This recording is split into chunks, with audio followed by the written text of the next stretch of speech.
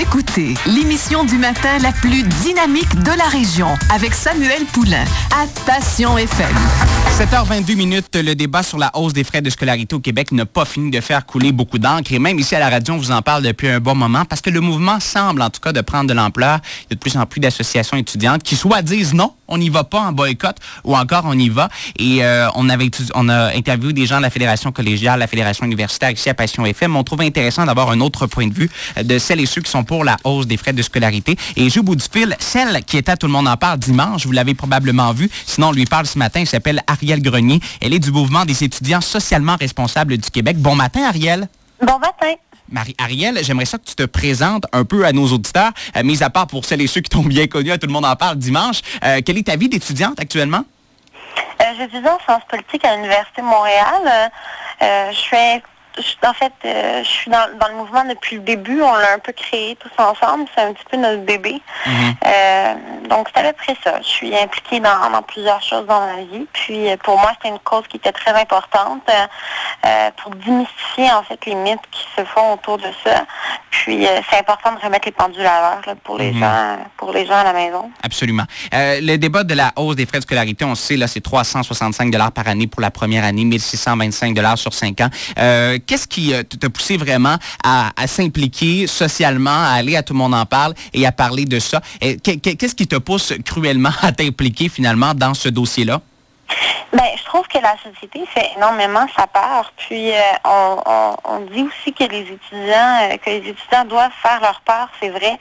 Euh, je pense que pour qu'une société fonctionne bien, il faut que chacun puisse un peu mettre la main dans ses poches, puis pas demander aux autres de le mm. faire. actuellement, il y, a des, il y a des programmes où, où les étudiants ne payent que 10% 12% du total des coûts de la formation, alors qu'il y en a d'autres qui payent 40% du total du, prix total.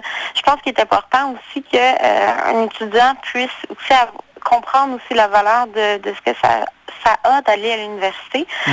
Euh, il va y avoir une aide financière de 118 millions. C'est assez important, ça. Ça va aller directement dans les gens qui ont, vraiment besoin de, de l'aide financière aux études. Puis le tiers de la hausse aussi va être destiné à, euh, à aller justement dans l'aide financière aux études. Mm. Donc quand on dit que, que que, que l'accessibilité à, l'université va être coupée, c'est fou aussi. J'ai lu l'étude sur laquelle euh, on se base, puis qu'on dit qu'il va y avoir 7000 étudiants qui vont euh, qui ne pourront plus aller à l'université. Cette étude-là, elle comporte deux lacunes. La première, c'est que euh, elle fait un calcul seulement et si seulement la hausse se fait de manière drastique, là, directement. Là. Donc, c'est ce qui n'est pas du tout le cas, là. Non, c'est ça, ça va être 5 ans. Mm. Et cette étude-là aussi calcule qu'il n'y aura pas d'aide financière aux études. Donc, on est venu pallier à ça en augmentant euh, l'aide financière aux études. je pense aussi que c'est important euh, d'aider les gens qui en ont vraiment besoin. Mm. Puis, euh, puis ceux qui pourront être capables de payer vont pouvoir le faire, peu importe le prix. Là, mais il faut aider les gens qui en ont besoin. Puis c'est important que, que les étudiants aussi sachent qui sont importants. Tu sais. Oui, absolument. Puis il y a le programme des prêts et bourses qui est là. Il y a aussi tout le, débat de valeur de société. C'est de comprendre aussi qu'aller à l'école, c'est pas une dépense, mais c'est un investissement. Donc, 10 par jour, là, quand notre BlackBerry et notre iPhone, à toi et moi, nous coûte plus cher, c'est pas si pire que ça comme augmentation pour quelque chose qui va nous servir toute notre vie. Là. Ben, c'est ça, c'est important. Tu sais, je veux dire, euh, l'éducation, c'est pas comme euh, c'est pas comme un cours de dessin. Là, ça va nous donner euh, mm. entre 600 000 puis 1 million de dollars de plus dans toute notre vie. Tu sais, je pense que 14 000 dollars, un investissement de 14 000 dollars pour gagner entre 600 000 et 1 million de dollars de plus au courant de notre vie. Tu sais, je pense que c'est un, un billet gagnant. Puis aussi, on va gagner aussi 14 000 de plus que n'importe qui qui n'est pas allé à l'école. Je pense que c'est important aussi. Et pas tout le monde hein, veut aller à l'université. Il n'y a pas tout le monde qui veut, puis il n'y a pas tout le monde qui peut aller à l'université. Donc, c'est important que ceux qui veulent aller à l'université puissent le faire. Ça, je suis tout à fait d'accord. Mais il faut aussi que ces gens-là fassent leur part et reconnaissent à quel point euh, il faut que le, diplôme soit reconnu. Mhm. Et Ariel, je ne sais pas si je me trompe, mais j'ai l'impression aussi dans le débat de la hausse des frais de scolarité, il y a tout aussi euh, un dossier de perception parce que euh, on a l'impression que les étudiants là, sont tous avec le 2 par 4 en train de manifester devant le Parlement. Mais alors que moi, j'étais avec des amis en fin de semaine, qui sont à peu près tous à l'école, on était 12, 14, 15, puis il n'y en a seulement qu'une qui était euh, qui étaient contre la hausse des frais de scolarité. La majorité, en tout cas, ça semble être une bonne majorité des étudiants que ça leur dérange pas et qui sont aussi contre ce boycott-là. Parce que c'est pas une grève, c'est un boycott, c'est de faire le choix de ne pas aller à l'école. Oui, oui, tout à fait. Euh, le mot grève ne s'applique aucunement dans ce cas-ci. Euh, il y a un problème de définition. Le mot grève, ça s'applique seulement aux travailleurs. Donc, c'est hmm. pour les gens qui sont salariés. Parce que je sache, les étudiants ne sont pas encore payés pour aller à l'université. Donc, ça, ça ne, ça ne s'applique pas.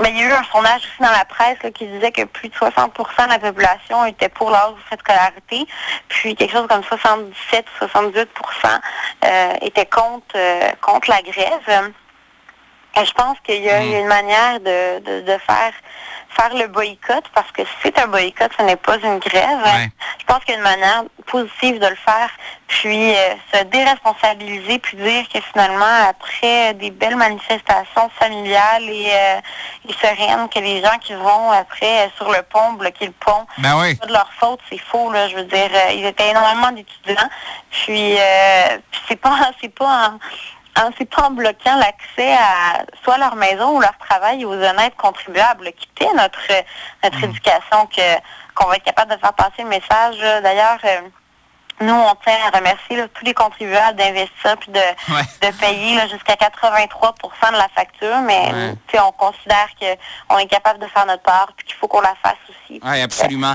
Ça ne va pas être indéfiniment eux qui vont payer. C'est nous qui avons décidé d'aller à l'université, pas eux. Hein. C'est ça, exactement. Et les étudiants aussi qui sont pour cette hausse-là. Puis en même temps, on n'est pas pour sa hausse, on est pour faire notre part, première affaire. Et en même temps, les étudiants aussi qui sont contre ce boycott-là, qui ne veulent pas finir l'école au mois de juillet ou au mois d'août, euh, doivent dire leur opinion aussi. On, je ne reviendrai pas sur, l'intimidation euh, dont certaines personnes peuvent être euh, victimes. Il n'en reste pas moins qu'il faut, qu'il faut oser dire ce qu'on pense et on est en démocratie. C'est pas seulement d'un bar qu'on peut parler. Là. Tout à fait. Puis euh, ça va être important aussi. J'invite tous les étudiants qui sont qui, ne sont pas d'accord soit avec la grève ou avec ou qui sont pour la hausse des frais de scolarité de joindre notre mouvement. Hmm c'est important de faire, de faire votre part puis de venir aussi sur notre mouvement parce que le calcul se fait actuellement. Euh, ça inclut tous les étudiants. Ils ne font aucune disparité entre les étudiants qui ont voté contre, les, étudiants qui ont voté pour, puis les étudiants qui sont abstenus.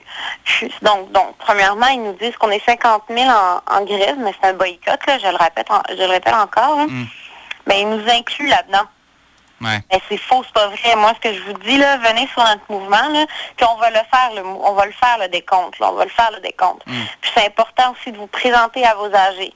Euh, si vous avez un vote qui n'est pas secret, là, je vous dis pour ceux qui ont peur de, de du jugement des autres ou du regard des autres, euh, demandez un vote secret le code Morin est là pour ça. Le code Morin va faire en sorte que vous allez pouvoir avoir un, vote secret et donc euh, vous allez être plus tranquille face à votre décision ou face à votre euh, le fait de vous euh, de vous prononcer pour ou contre. C'est ça exactement parce que le micro à l'Assemblée générale des fois est utilisé par d'autres. Exact, tout à fait. Vous n'avez pas la chance de parler parce que souvent, il y a un temps de parole qui est restreint. Ça peut être soit une heure et demie, ça peut être soit deux heures, puis vous n'allez pas être capable de pouvoir le faire. surtout, euh, surtout si vous avez un carrière aussi, là, insistez là, vraiment pour prendre le micro là, parce que vous avez votre place dans la société, vous avez une opinion et c'est important de le dire. Absolument. Ariel, le temps nous presse excessivement. Il y a une chose que je voulais clarifier aussi, c'est que oui, on est en démocratie et euh, trop souvent, on a peut-être euh, votre mouvement là, des étudiants sociaux responsable du Québec. On a pu l'associer à des gens qui étaient impliqués dans d'autres partis politiques, euh, mais c'est pas le cas. Il y, en a que oui, peut-être c'est le cas, qui l'ont été dans le passé, mais que c'est pas toute une gang de jeunes libéraux non plus, et euh, que c'est vraiment des étudiants qui le font parce qu'ils y croient. Et aussi dans le cas des assemblées générales étudiantes, ben c'est pas tous des gens qui sont partis québécois non plus. Il euh, faut, dépasser les limites d'allégeance politique. Non, c'est très facile de s'attaquer à ça. Hmm. Euh, nous, on l'a pas fait de notre côté, là, de l'autre côté, euh, parce que ça n'a aucun lien. D'ailleurs, c'est à préciser, nous tenons à le préciser que dès le début, là, nos affiliations politiques étaient très claires. Qu'on s'était prononcé là-dessus. On est beaucoup de personnes dans l'administration, des gens qui gèrent le groupe. On est de toute allégeance politique confondue. C'était même pas un critère de sélection pour euh, être admissible dans notre Mm. groupe. Vraiment pas. Nous, on est des étudiants qui voulons faire notre part, Ouais. qui voulons aussi euh, dire merci à la société. On tient à remercier les contribuables. là, Ouais, ouais, ouais, absolument. investir en nous. C'est pas, ça n'a aucun lien avec euh, avec les partis. d'ailleurs, d'ailleurs, on serait les premiers fâchés à se faire dire qu'on se fait donner des ordres Ben d'un parti ou d'un autre, là, parce que ça voulait dire ça, ça, ça impliquerait qu'on serait des marionnettes, puis on serait pas capable d'être euh, d'être intellectuellement euh, dissocié de ça. Exactement, actuellement libre. Et euh, c'était le fun, tout le monde en parle dimanche? Oui, euh, ben oui, c'était le fun. C'est une expérience. Ouais. C'est c'est quelque chose, mais je tiens à remercier les téléspectateurs. Puis, euh, puis c'est ça. Ben, merci beaucoup, Ariel, et on vous souhaite bonne chance dans vos démarches. Merci beaucoup. À la prochaine, au revoir. Au revoir. Ariel Gauthier, elle est du Mouvement des étudiants socialement responsables du Québec. C'est elle qui débattait à Tout le monde en parle dimanche dernier. On parle de météo et Normand Poulain vient nous livrer un premier bulletin d'actualité locale et régionale.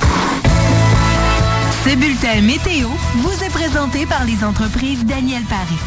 Météo. Météo. Ici Daniel Paré. Au volant,